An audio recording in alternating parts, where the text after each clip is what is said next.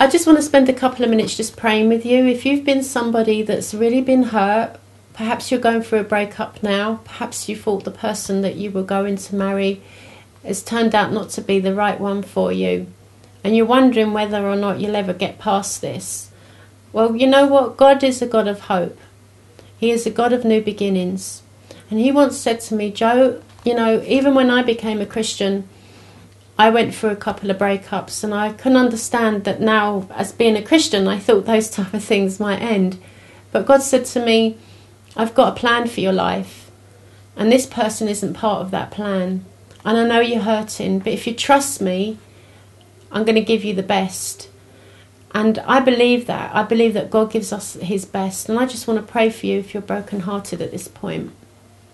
Lord, I just want to pray for the women out there and the men who have been hurt by love. Perhaps it's from childhood, romantic experiences, or family and friends. And they feel alone, they feel lost. Lord, I just want to pray that they may know your unfailing love. That your, your love, Lord, always stands true. Help them to turn to you and see you for the God that you are. That you restore the brokenhearted and you will set them on a new path and you will strengthen them and renew them and their broken self image, you'll restore that too. Just keep them on the path, Lord. Help them to see that there is life beyond a broken relationship and that they can have hope and they can love again. In your name I pray. Amen.